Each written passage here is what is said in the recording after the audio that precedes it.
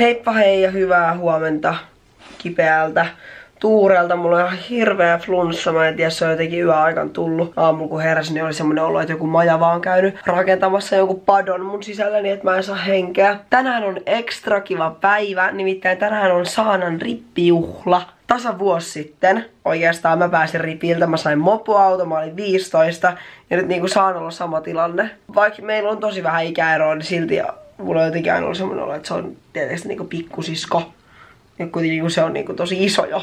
Se tuntuu ehkä vähän oudolta. Mut nyt mä laitan vaatteet päälle, koska tota, mä oon vähän aikataulusta myöhässä. Kirkko alkaa puolet tunnin päästä. No niin, nyt on puku päällä ja tota, todella epätuuremainen olo. Tää on kyllä oikeasti sellainen viimeinen kerta, kun mä laitan puvun päälle, koska miksi pitäisi pitää päällä jotain sen takia, että koko muu yhteiskunta ajattelee, että koska sä oot mies, sun täytyy laittaa pukujuhlaan. Ja kun tääkin on semmonen juttu, että mä rakastan miettiä tulevaisuutta.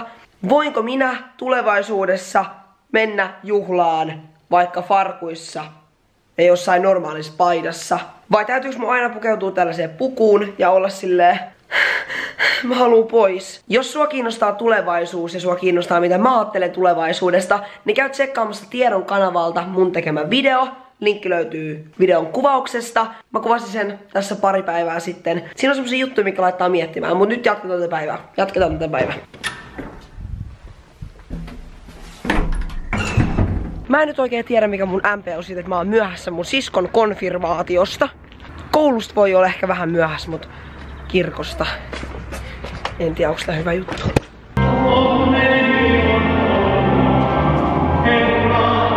Kirkkohetki on ohi, mutta katsokaa.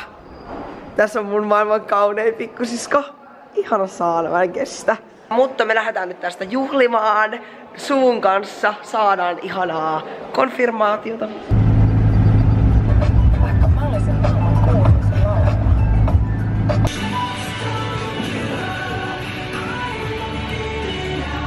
Tulisiko neiti sieltä, kun vieraita on täällä?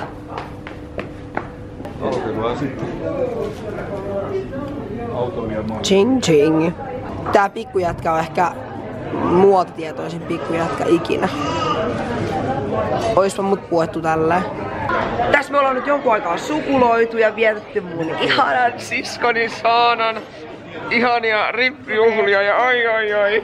Ihanaa. Mä lähden kohta hakemaan Aleksandraa, koska saadaan kutsunut Aleksandra tänne. Ja se ei kävellä.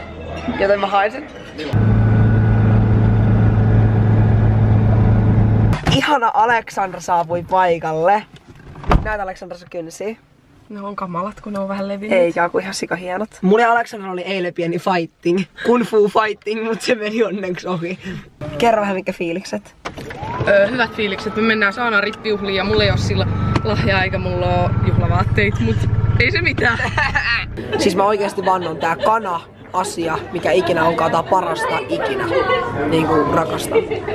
Siis meidän perheessä on aina ollut tapana, että jos mulla ja Saanalla on jotain tämmöisiä merkkipäiviä, niin kuin esimerkiksi nyt Saanalla rippi, päivä, niin isä tekee sellaisen uuden, aina uuden dia-esityksen, missä on kaikki meidän noloi kuvia.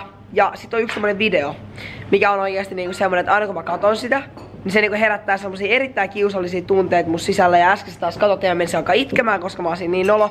Siis mä laulasin jotain ja sit Saana pyörii jonkun punaisen tai vaaleanpunaisen perhoshaavin kanssa ja taustalla niinku...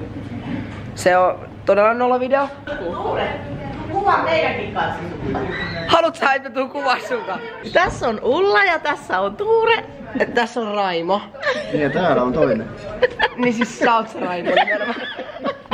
Meillä on ollut ihana trippijuhlat. Meillä on ollut tosi kiva trippijuhlat. Mm. Elikkä mä olen Suskin täti. Eli Suski on mun äiti. Mm. Niin mä oon Suskin täti. Mm. Ulla. Ultsi. Ultsi bultsi.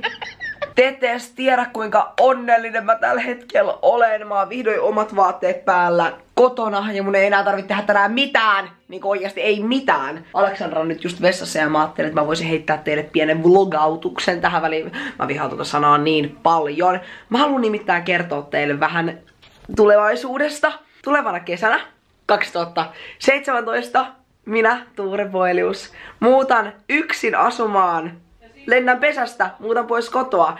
Ja niinku, se tuntuu hullulta, mutta mä odotan sitä toisaalta tosi paljon. Tai niinku, mä ootan sitä, että mä pääsen sisustaa mun omaa kotiin. Mä äsken sitä paitsi siivosin. Ja sitten kun mä asun omassa kodissa, siellä on aina puhdasta. Kaikki on niinku tip-top.